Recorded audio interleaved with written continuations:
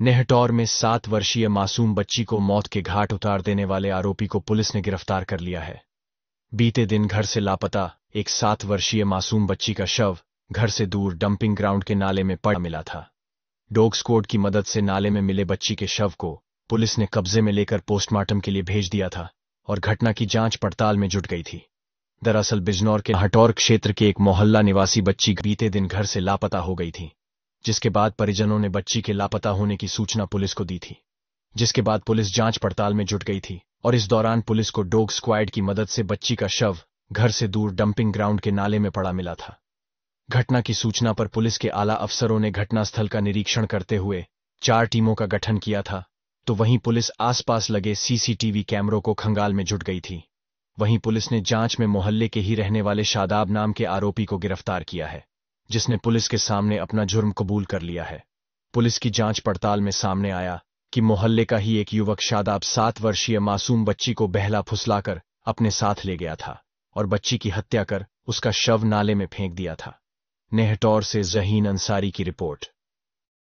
कल दोपहर को नेहटौर थाना पुलिस को एक सूचना प्राप्त हुई थी कि नेहटौर कस्बे से एक सात वर्षीय बालिका गायब है। इस सूचना पर नेहटौर पुलिस ने तत्काल अभियोग दर्ज किया और मल्टीपल सर्च टीम्स इस बच्ची को ढूँढने में लगाई। डॉग स्क्वाड की मदद से इस बच्ची की डेड बॉडी को कल शाम को नाले और डंपिंग ग्राउंड के बीच से बरामद किया गया। घर वालों की सहमति से बच्ची को पोस्टमार्टम हेतु मौचरी भेजा गया, जहाँ पे पैनल से इसका पोस्टमार्टम कराया गया। चार टीमें कल मेरे द्वारा गठित की गई थी। चारों टीमों ने अथक मेहनत की और कई कैमरे देखे गए। इस मोहल्ले में काफ़ी कैमरे ऑपरेशन दृष्टि के अंतर्गत लगाए गए थे। फुटेज के आधार पर आज पुलिस ने एक व्यक्ति को गिरफ़्तार किया है, जिसका नाम शादाब है। जो कि इन्हीं के मोहल्ले का रहने वाला था। मूल रूप से वो मुजफ्फरनगर का रहने वाला है। फ़िलहाल वो इनके मोहल्ले में रह रहा था। उसको पुलिस ने हिरासत में लिया है। उससे पूछताछ की गई तो उसने अपना जुर्म कबूल किया है। फुटेज में भी वही दिख रहा है। वो बच्ची से काफ़ी फ्रेंडली था और परसों शाम को बच्ची को लेकर वो गया था जहाँ उसने उसकी हत्या कर दी।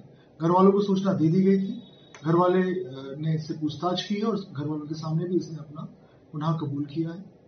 इस केस में ठोस सबूत एकत्र करके सीसीटीवी फुटेज है सर्विलांस है साथ ही साथ जो क्राइम सीन के सैंपल्स हैं वो एकत्र किए गए इनकी मदद से एक ठोस इन्वेस्टिगेशन की जाएगी और सात दिवस के अंदर इसमें चार्जशीट माननीय न्यायालय में दाखिल की जाएगी और सघन पैरवी करके माननीय न्यायालय में इसको कठोरतम सजा दिलवाई जाएगी।